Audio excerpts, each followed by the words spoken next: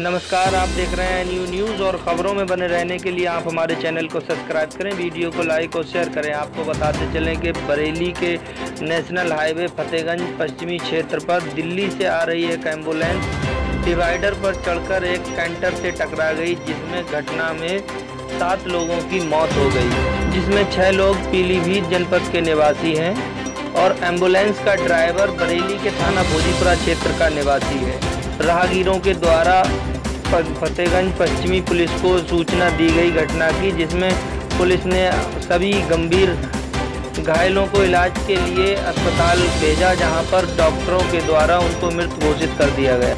पत्रकार राजू गंगवार की रिपोर्ट, मीरगंज क्षेत्र बरेली से।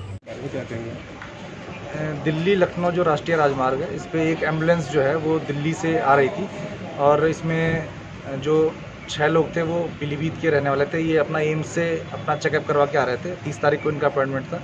और इसमें जब ये एंबुलेंस आ रही थी तो जो डिवाइडर है, उसको ये क्रॉस करते हुए सामने से आ रहे जो डी सी उससे टकरा गए। और जो एंबुलेंस में सवार सात लोग थे, उन सातों की दुखद जो है, मृत्यु उसमें हो चुकी है।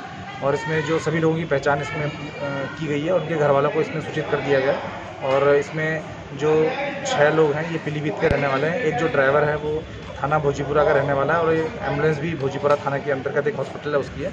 और ये सभी जो एक एक ही परिवार के जानने वाले हैं, सभी लोग जो हैं।